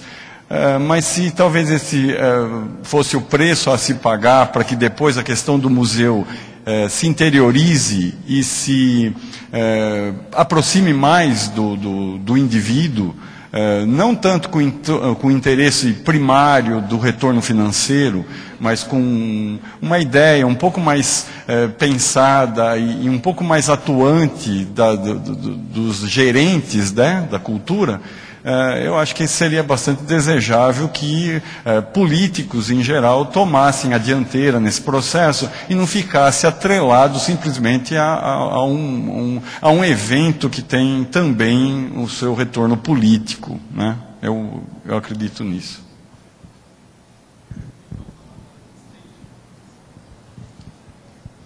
É, boa tarde, eu sou a Alessandra do Museu Histórico Pedagógico Dr. Washington Luiz. E eu tenho várias colocações que talvez caibam mais para o CISEM do que para os palestrantes, né? É, uma delas é que eu estou desde 2001, então eu entrei pós-municipalização e a impressão que eu tive na palestra de vocês é que vocês conhecem muito mais a história do museu do que eu própria, né? E a questão que nós, em 2007, comemoramos 50 anos, até fizemos uma pesquisa para isso, mas que existe muito mais material e uma facilidade muito maior na mão de vocês do que na nossa. Então, uma proposta aqui que eu faço é de ter mais acesso a essas pesquisas, facilitar um pouco mais, para a gente conhecer a memória desse museu, né, e ter, para saber fazer o caminho seguinte, né, então, a troca desses materiais, até o colega da USP também disse que tem bastante material, então isso é muito importante lá para nós. Outra coisa é que sempre me cai um dilema muito grande, porque o Washington Luiz parece que tem uma relevância histórica muito grande, nacional até, e para o estado de São Paulo, sendo o tal do paulista de Macaé, e eu acho que nem Macaé, que é a cidade natal dele, faz essa homenagem histórica para ele e veio para Batatais esse presente, mas que não existe uma identidade também do Washington Luiz com a cidade. Tanto é que a professora Maria Cecília, nós não estamos mais naquele prédio, né? fomos transferidos para uma antiga estação ferroviária e agora ocupamos só dois galpões ali, é, um galpão. Né? Aquele prédio está abandonado, um processo terrível. E no, nessa fase de mudança para a estação, eu acabei levando o acervo do Washington Luiz para a casa onde o Washington Luiz morou, que faz parte de uma fundação cultural em Batatais. E hoje, a semana que vem, quando eu estiver em Batatais, eu, vou, eu estou resgatando esse material de novo para o museu, porque sempre eu fico nesse dilema, gente, o museu é histórico Washington Luiz e eu não tenho o acervo do Washington Luiz, e ao mesmo tempo a gente consegue fazer um trabalho bacana na cidade, pensando na identidade da cidade, né? E aí eu quero e acabei de preencher um, um questionário sobre o plano museológico, se o museu possui plano museológico e o meu argumento é que não existe uma equipe para eu desenvolver o plano museológico, mas eu sempre fico num dilema. Eu levo, é, eu acho importante, eu acho que dá um marketing, dá uma questão importante eu levar o nome ao Aston Luiz, mas eu não sei como trabalhar ele lá, eu não consigo me identificar com ele, eu não, não consigo, está difícil. Né? Então, uma diretriz aí do CISEM, né, eu trabalho mais a questão do museu local do que o Museu Washington Luiz. Né? Então, pedindo aí umas diretrizes do CISEM. Eu acho que você levantou dois aspectos importantes aí, né? É, o título, né, o nome que o museu leva e a necessidade da recuperação desses documentos históricos. A gente vem insistindo bastante isso a cada solicitação. A gente aos poucos está tentando estruturar de forma melhor. É, aí é, hoje a gente falou um pouco sobre isso, meio separadamente, mas aos poucos a gente vai conseguir fazer a extroversão um pouco de como a gente está pensando em trabalhar mas a gente tem insistido na necessidade né, do regulamento dos próprios documentos institucionais, muitas vezes né, não tem nem acesso ao próprio decreto de criação, enfim, instrumentos básicos, até legais, no sentido de pleitear eventualmente um convênio, concorrer em algum edital, etc, etc. Então, por um lado, acho que se aponta isso, a gente pode fazer um esforço aí no sentido de tentar localizar essa documentação específica do museu de vocês. Agora, o outro aspecto é em relação dessa identidade com o próprio local, né, a questão do pertencimento do museu no seu local. Né? E aí também eu acho que abre, eu acho que muitas das questões que foram levantadas aqui dizem respeito a esse debate. Né? E eu acho, para dizer, apenas para não me estender aqui, é, que é, é, há uma enorme pertinência nessa discussão, né, que deve ter ser feita num âmbito eh, coletivo, evidentemente, né? É, que também talvez nesse processo possa possibilitar a consolidação de instâncias coletivas para que depois possam também abrigar a própria gestão do museu. O que eu quero dizer com isso? Criação de conselhos, etc. Algumas diretrizes também que a gente tem buscado a trabalhar e que a gente espera ter aí consolidado, uma espécie de guias, né? É, para que vocês possam ter o passo a passo de como consolidar essas atuações. Acho que eu queria complementar rapidamente. Como é seu nome? É, a Alessandra. Alessandra, eu acho que tá, eu, você está preocupada assim com, com, com, o objeto da tua exposição, né? Como, como reunir algumas peças que deem, é, enfim, corpo, né, ao museu e que possa atrair um certo público. Bom, é, eu, eu, eu, sugiro a você fazer uma investigação no próprio Museu Paulista, porque o Museu Paulista ele detém um pouco do acervo da memória dos quatro presidentes republicanos. É, é, é, um, é, é, é um dos locais também depositário da memória, né? algum objeto pessoal, alguma coisa assim. É, acho importante também você fazer um, uma, um cruzamento aí, uma, um intercâmbio com o Museu Republicano Convenção de Tu, que pode ter informações interessantes né, para é, enriquecer o panorama histórico e político do, do período. Outra coisa também, assim, é, o, o, os primeiros quatro museus é, históricos e pedagógicos criados dos presidentes republicanos, eles são, entre aspas, né, os patronos de toda a rede, né? Foram, foram os quatro que deram origem para toda a rede. Na verdade, assim, o Solon só queria criar quatro. O projeto original era só quatro. Mas o Vinícius, muito ligado ao Instituto Histórico Geográfico por razões pessoais, né, de, de muito interesse com a história, ele insistiu e convenceu o Solon a criar. Primeiro cinco, depois mais 17, depois 50. Né? Sempre repetindo, replicando o mesmo decreto. Então eu acho que seria interessante também você aproveitar essa oportunidade, contar um pouquinho dessa história. Olha, este museu ele foi criado neste, neste, neste período com este objetivo. Junto com ele foram criados mais três e que foram os primeiros de uma grande rede importante que hoje existe no Estado. Se você contar um pouquinho dessa história, dando alguns dados, alguns números até o dia de hoje, de uma forma é, até didática, eu acho que você vai, vai, vai, vai é, ajudar a todos os seus colegas a entender um pouquinho melhor dessa história. Porque, na verdade, essa história que nós estamos falando hoje aqui, ela nunca foi exposta. E talvez o grande tema da exposição dos museus históricos e pedagógicos seja contar a sua própria história. Porque, afinal de contas, é a história que a gente conseguiu produzir, é o, é o acervo que a gente conseguiu produzir. Bem ou mal, é, é o que nós temos. Então nós precisamos olhar isso e, e, e aproveitar esse mote né, para criar outras músicas, outras histórias. Até com, com. Falar com história com H só, né? Mas tem muito conto que pode ser contado né, do interior, que entre imaginário que os próprios modernistas incentivavam bastante. É, a sua pergunta é muito estimulante e a Simona te deu uma vertente. Eu queria te dar para mais dúvidas, não umas respostas. Eu acho que é importante a gente ter dúvidas. É, eu discutiria se eu teria que continuar falando do patrono. Ou se eu, eu falaria dele dentro do universo, do momento em que aquilo foi, foi elaborado, porque ele foi criado, depois ele foi instituído, tem uma história, e eu vou te dizer uma coisa, a gente para fazer essas questões tem que mergulhar em arquivo, tem que mergulhar em decreto. Para chegar nesses dados aí, nós ficamos anos lendo na biblioteca, decreto, indo atrás de arquivos ali no canto atrás da porta, sabe? Porque às vezes as próprias instituições não musealizam a sua própria história. O, documento ocupa lugar, joga fora. Aí a gente vai em todas essas instituições, tem que voltar aos decretos, ler jornal da cidade. Então, a gente não tem muito uma caixinha de Pandora para abrir, só para soltar demônio mesmo. Né? Porque eu partiria da questão se eu preciso continuar contando que ele foi presidente da República. A história escrita, a história cristalizada, positivista, historicista.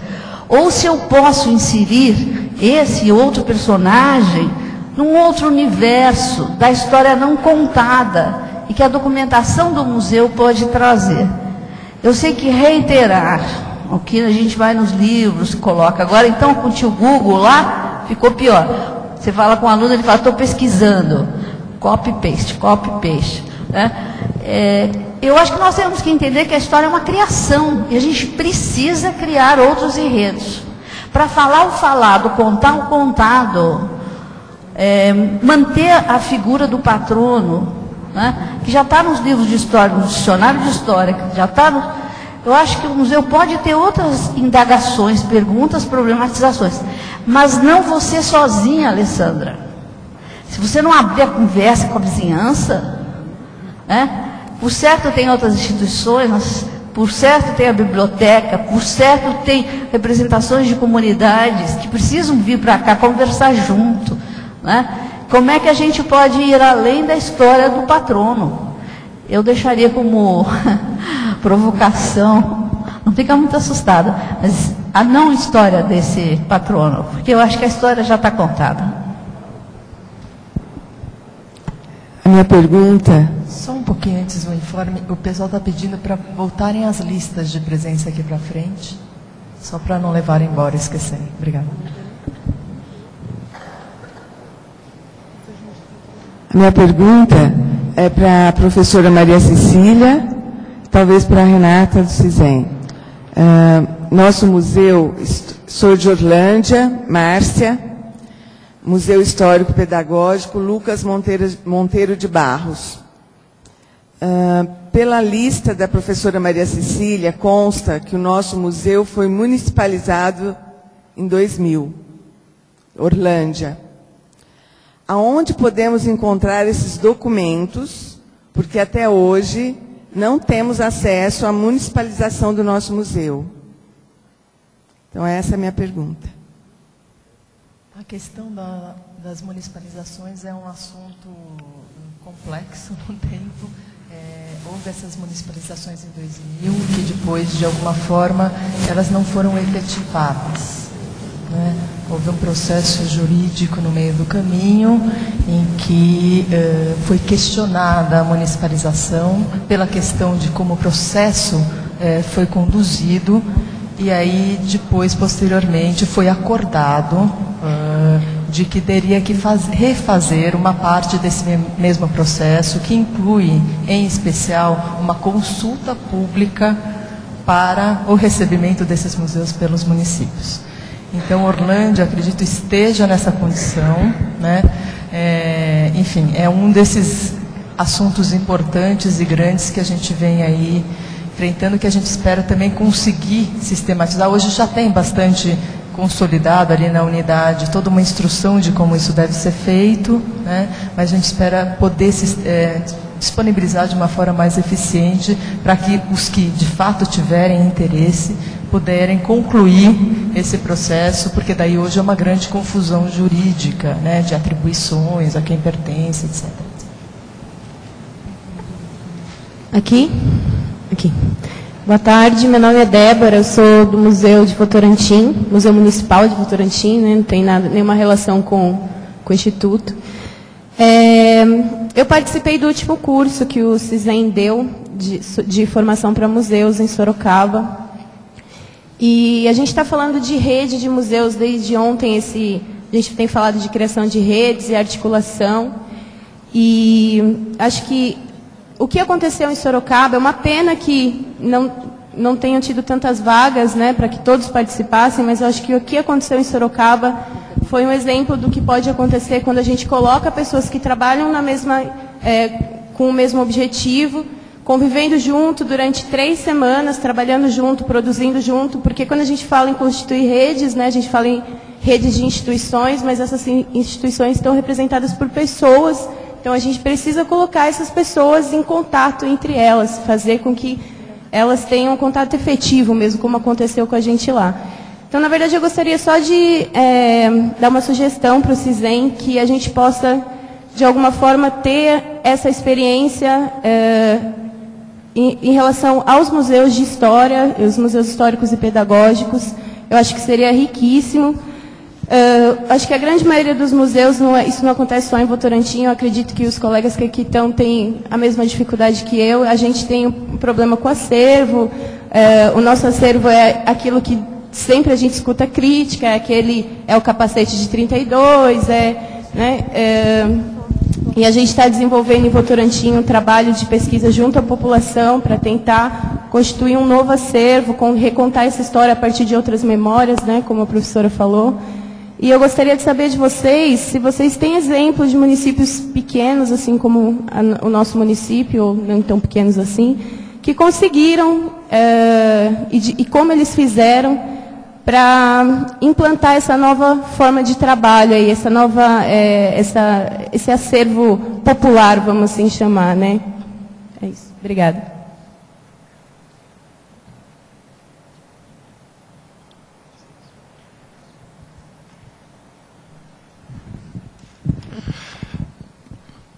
Olha, toda a rede de museus históricos e pedagógicos foram montados a partir de doações.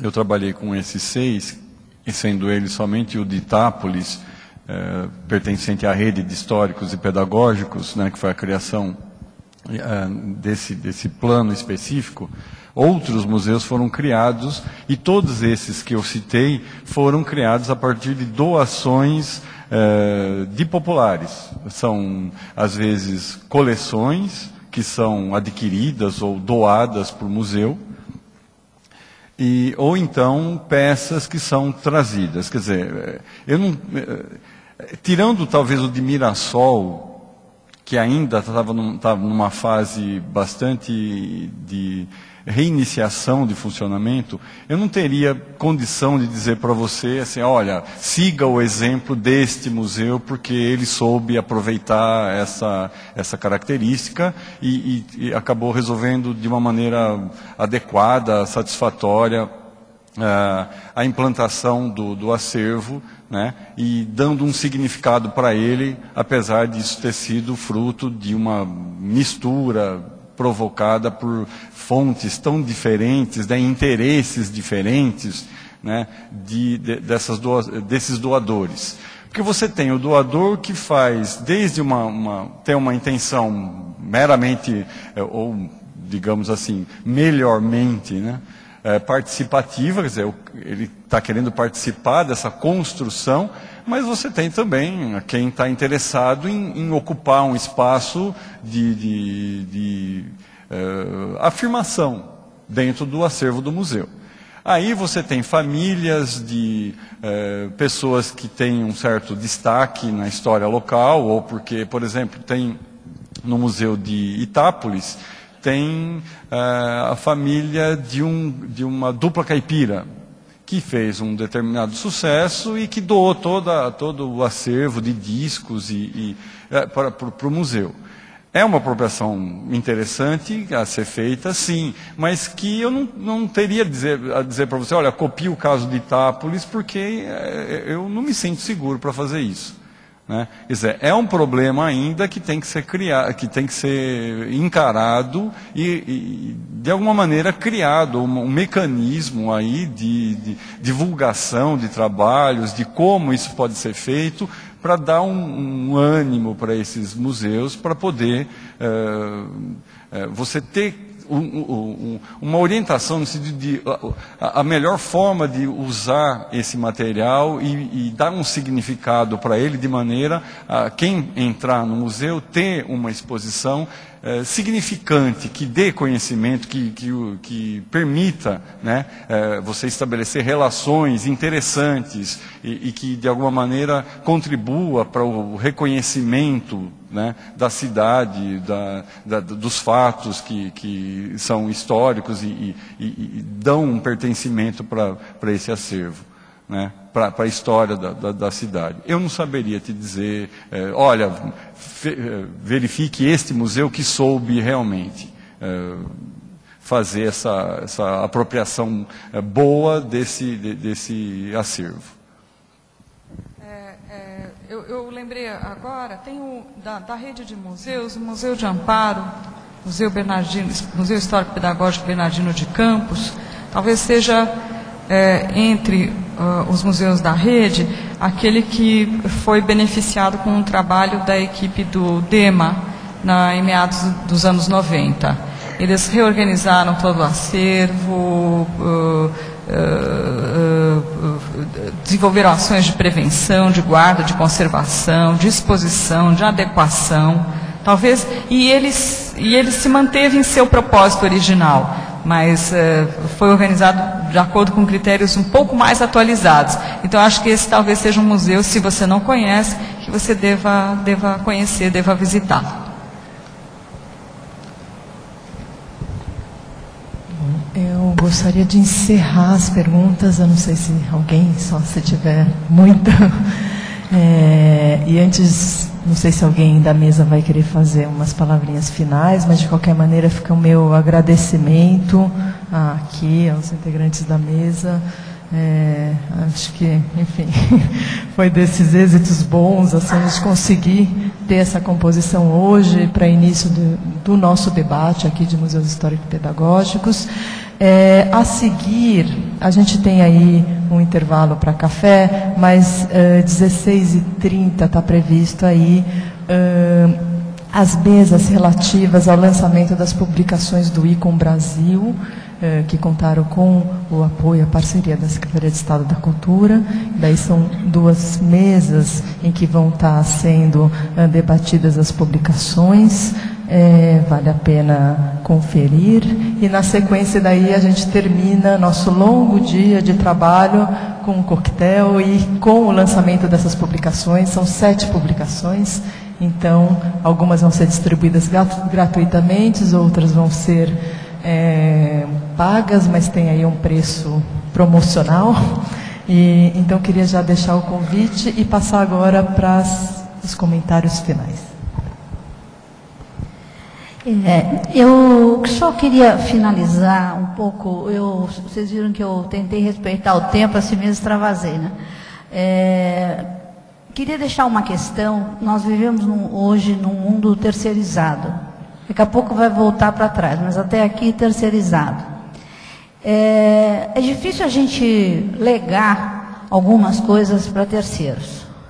Eu acho que a gente tem que travar, de fato, uma rede de relações com os similares, com os diferentes, com as diversas comunidades e principalmente com as memórias exiladas que em cada uma das pequenas ou grandes cidades existem.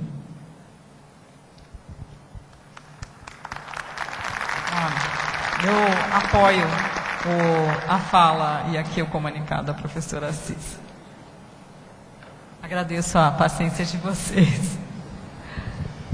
Eu também agradeço a atenção de vocês e o trabalho de vocês, que eu acho que é um, é um trabalho que tem, como a Cissa falou, o museu é um lugar de, de disputas, é um lugar de conflitos e uh, eu acho que buscar uma, um, um, uma direção dentro desse conflito é o grande, a grande, o, o grande desejo que se espera do, do funcionário, do administrador do museu. Tá? Muito obrigado.